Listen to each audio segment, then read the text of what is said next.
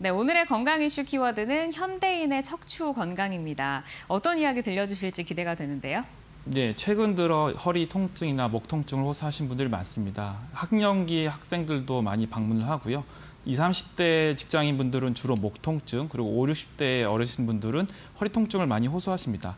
대부분 경우에 검사해보거나 확인해보면 심한 경우는 드물고 간단하게 치료해서 나아질 수 있는데요. 특히 이 좋은 자세와 꾸준한 운동 그리고 여러 가지 스트레칭을 하시면은 이러한 통증의 통증 예방과 치료에 많은 도움이 되겠습니다. 네, 어, 그렇다면 지금 뭐 다양한 연령이 나타나는 이 허리의 통증, 어떤 자세와 어떤 스트레칭이 좀 도움을 줄 수 있을까요? 예, 가장 중요한 게 이제 좋은 자세를 유지하는 건데요. 허리를 꼿꼿이 펴고 이제 일을 한다고 할 때도 이제 가능하면 허리를 굽히지 않고 허리를 핀 상태에서 일을 하시는 게 중요하고요. 예, 작업을 서서 해야 되는 경우에 있어서는 이제 다리를 올린다거나 해서 가능하면 이제 예, 목과 허리의 균형을 유지해 주시는 게 제일 좋고요.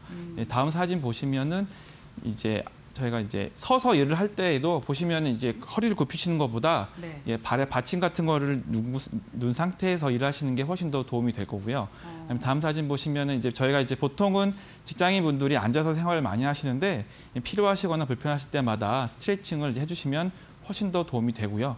그리고 다음 사진 보시면은 가장 중요한 거는 이제 허리가 안 좋다고 느끼시는 경우에는 여러 네. 가지 맥켄지라든지 뭐 동물 자세 같은 운동 등을 함으로 인해서 허리 주위 근력을 튼튼하게 해서 허리의 통증을 완화시키고 허리 근력을 강화시키는 운동 등을 하시는 것이 좋겠습니다. 네, 지금 이제 허리 운동 말씀하시면서 그 동물 자세라고 하셨는데 대표적으로 좀 고양이 자세 같은 게 나와 있는 것 같아요. 네, 고양이 자세, 낙타 자세 여러 가지 자세가 아. 있는데 이런 건 이제 허리의 굴곡을 완화시키고 허리에 있는 근육의 긴장도를 떨어뜨리게 해서 허리의 근육들을 이제 강화시키는 운동들이 되겠습니다. 네, 얼마나 좀 자주 해주면 도움이 될까요? 아, 보통 저희가 이제 권해드리는 게 아침에 한 5분 정도, 주무시 일어나시고 나서 한 5분 정도, 그리고 주무시기 전에 한 5분 정도 하셔도 충분히 도움이 될 거- 되는 것으로 밝혀졌습니다. 네, 알겠습니다.